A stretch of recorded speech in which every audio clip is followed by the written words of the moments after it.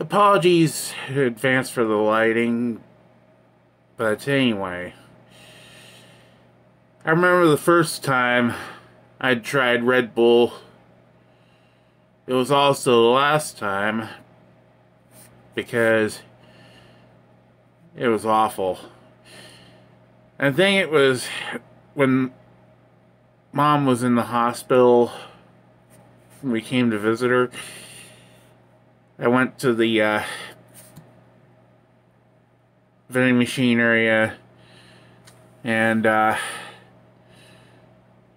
got one from the drink machines.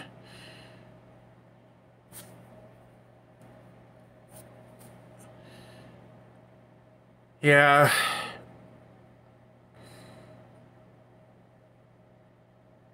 It was some nasty tasting stuff. Red Bull may give you wings, but it can also taste like carbonated cherry Robitussin.